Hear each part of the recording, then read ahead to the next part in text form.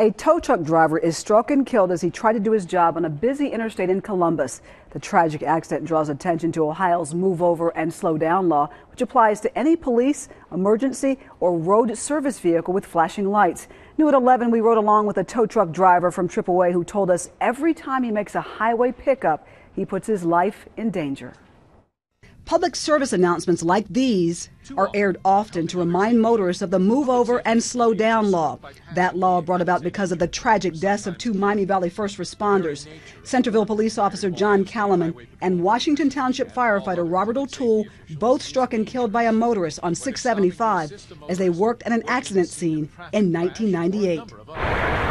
Last night, tow truck driver 59 year old John Carpenter Jr. was struck and killed by a motorist as he prepared to tow a disabled vehicle. Road service vehicles like his are now a part of the move over and slow down law. Anything on the side of the highway is just terribly dangerous. Shawn Cobble, a tow truck driver for AAA, knows the dangers all too well.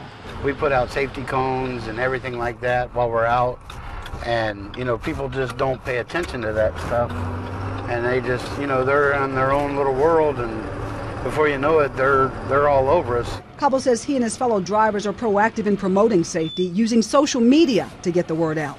We share that regularly, um, hoping that people will get the awareness that you know we are out there on the side of the highway, and you know that when they see our lights on, they're supposed to slow down and move over to the furthest lane possible away from us to give us safe room to work. He's convinced educating motorists is half the battle, and without it, Law enforcement officers, emergency, and road service workers like him will continue to work in constant danger. They see our amber lights and they think, well, it's not a cop, so let's just let's just go as quick as we can. Now, every year, dozens of tow truck drivers are killed on the job, and we learned being killed at an emergency stop is the fourth leading cause of death for law enforcement officers.